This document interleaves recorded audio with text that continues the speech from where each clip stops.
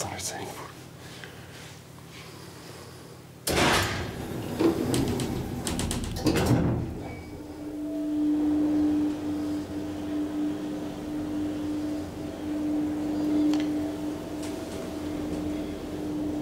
This will very soon be modernized.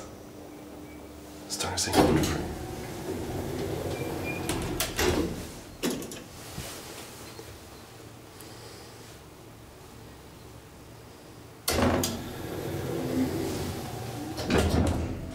I've been in touch with him on phone.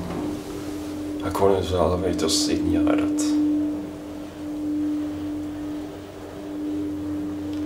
He's also the CEO of that company.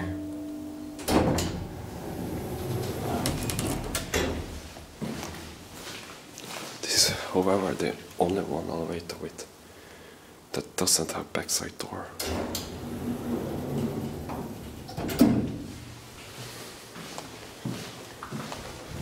Pastor, Pastor never taken before. So yeah, Pastor Lucky taken it now.